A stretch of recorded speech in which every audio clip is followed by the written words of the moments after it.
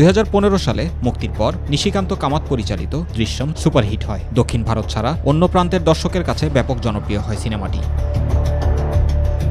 এরই মাঝে বলিউডে মন্দার বাজারে এবার আশার আলো দেখাল অজয় দেবগন ও টাবু অভিনীত ছবি দৃশ্যম টু। প্রথম থেকেই বক্স অফিসে সাফল্য এনে দিয়েছে এই ছবি। সাত দিনের মাথায় একশো কোটির ক্লাবে প্রবেশ করল অজয় দেবগনের দৃশ্যম টু।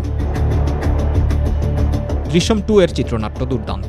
ছবিতে আছেন অক্ষয় খান্না, অজয় দেবগানের মতো অভিনেতারা। সঙ্গে হিন্দি রিমেকটিতে বেশ কিছু পরিবর্তন করা হয়েছে, যাতে বলিউড দর্শকেরা ভালোভাবে উপভোগ করতে পারেন। সব মিলিয়ে পরিপূর্ণ প্যাকেজ হিসেবে ছবিটি লুফে নিয়েছে দর্শকেরা।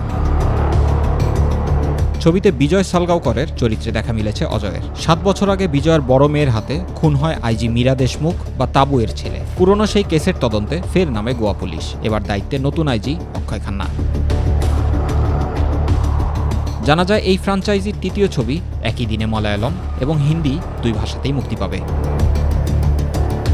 জুবাই Rahman my TV news desk.